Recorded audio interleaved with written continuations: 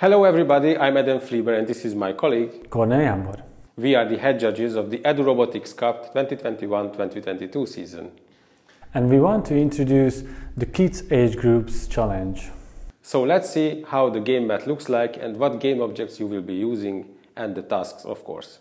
For this year we have chosen some classical games to inspire us when we were building the game mat and how it will look like and for this age group we have picked the Nine Men's Morris game. Let's see the game objects. The first one is the light mirror pieces. The other is the dark mirror pieces. You need four light mirror pieces and six dark mirror pieces. When it comes to the light and dark mirror pieces, you will have to use some plastic bottle caps. It does not really matter what exact colors you are using. What matters is that they have to be clearly two different colors. So you can use dark blue, you can use black, or you can use white, light green, or any other color that is available for you. The most important is to have two different ones. You need a box of matches and classical Lego minifigure. And the last one is a sock.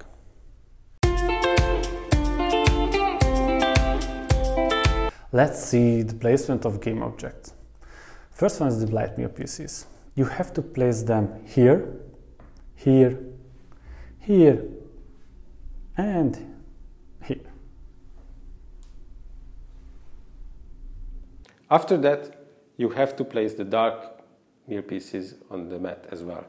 They go inside the finish area, completely inside the circles that you can see, like this, like this. It does not matter for the dark or the light pieces if they are upside down or front up.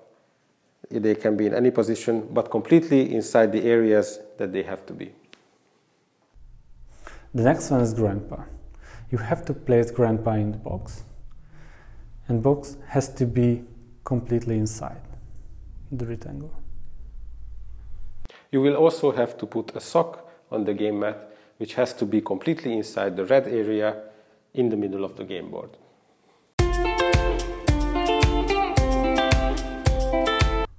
Let's see the tasks. The first task, the tie-dyeing the desk. You need to remove the sock from the game field. Next, you will have to use the dark pieces to make two mills.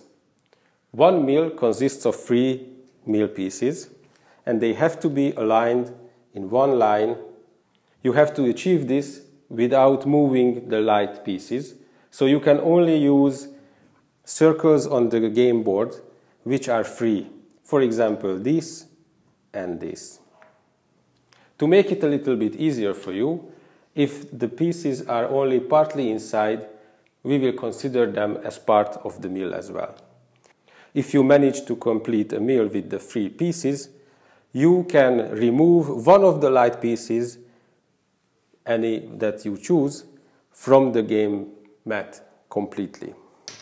Don't worry, because you will still get the points for the light pieces that are avoided.